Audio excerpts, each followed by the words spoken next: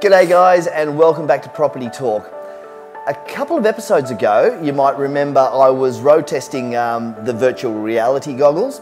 Well, I'm absolutely rapt to announce that we can now offer this as, uh, as in addition to our normal marketing packages.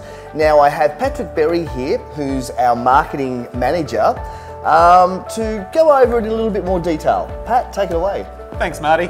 Well, what we've actually done is we've teamed up with a company called Matterport and they've produced this fantastic little square box camera. And what it will actually do is it'll scan your entire house. So when Hamish, our photographer, heads out to do the photos and the video of your property, he'll also take the time to scan the property. So what this means for you as the user is when Hamish comes back to the office and uploads the scan online, it'll actually allow you to be able to walk through the entire property. And we see great advantages of this for mainland buyers being able to experience the property before committing to fly down and inspect.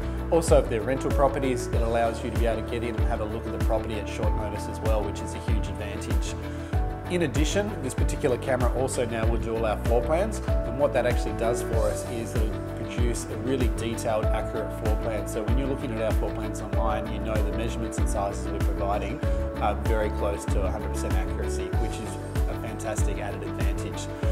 So this particular camera, it's unique, it's different. You really need to get in and have a play to really experience what it can do. And finally, in addition, we also now have the ability to load these tours directly to virtual reality goggles here in the office, so you can actually experience the property in its full surroundings wearing these particular goggles, which is something really exciting and cutting edge. So that's it in a nutshell, I guess, Marty. That's our Matterport product and something we're really excited to bring to the northern suburbs and to the Hobart market in general. Fantastic, Pat. Sounds great. I'm really excited. Um, okay, well, guys, that's it for another episode. Um, join me again on the couch. Um, next episode, we're going to be talking about. Um, oh, look, how, how best placed to put offers when there are multiple offers coming in and that sort of thing, because in this market at the moment, it is just going berserk. Uh, lots and lots and lots of multiple offers. So I'll be giving you a few tips on how to, um, how to do that. Thanks, guys. See you again next time. Cheers.